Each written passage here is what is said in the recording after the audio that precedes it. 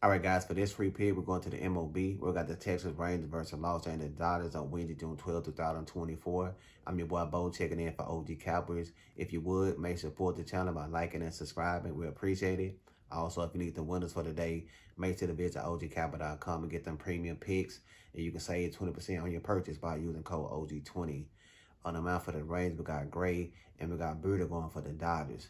Now, Walker Buehler, I'm not trusting him this season so far. He's given up multiple runs and also in the first five innings of his start. So I think Gray had an edge in the spot. They've been careful with him. He been not going more than four innings, but he having great starts. So I think the Rangers will be up in the first five.